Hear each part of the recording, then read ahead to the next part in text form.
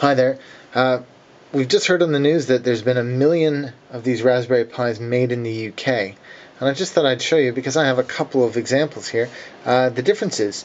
Uh, so this one on the left is uh, made in China. I'll just you can see it written there, made in China. And this one on the right, you can see, is the uh, made in the UK version.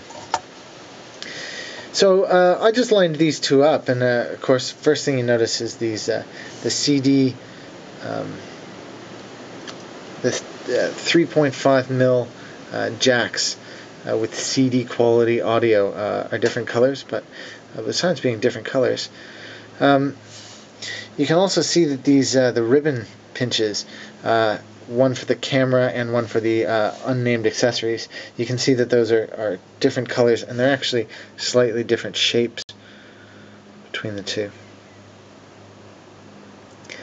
Uh, in terms of the chips, you can see that these are actually different as well. On the left, it's a uh, Hynix chip uh, with a part number, which I won't uh, which I won't go through now. Uh, and on the right, it's not listed as Hynix, but it's got kind of an M logo with a circle going around it. I hope we can see that. There you go. So far as I know, these uh, these chips are in fact the same. Um, they're both 512 versions. Uh, Rev Rev 2 of the uh, Raspberry Pi. They're both 512s. Uh, uh, if you look, you can see here. This is uh, this has a logo on it. It's a HanRun, uh, and there again, it's got a. You can see it better that way. It's got a serial number on it, whereas the UK uh, board doesn't.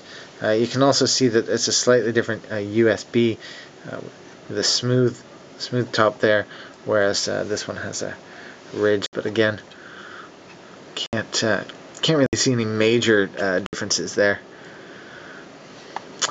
Uh, let's just flip the board over and have a quick look. Uh, it looks looks pretty much the same, uh, both sides here. Uh, no no major differences. I can see that there's a logo difference here.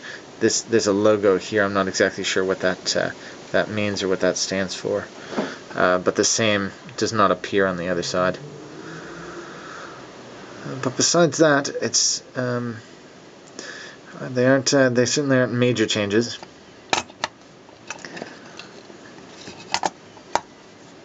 So there you have it. The uh, Chinese on the left and the made in the UK on the right versions of the Raspberry Pi. If you have any questions or anything you'd like me to look at or explore in more detail, uh, just post below and I'll uh, have a look and get back to you. Thanks.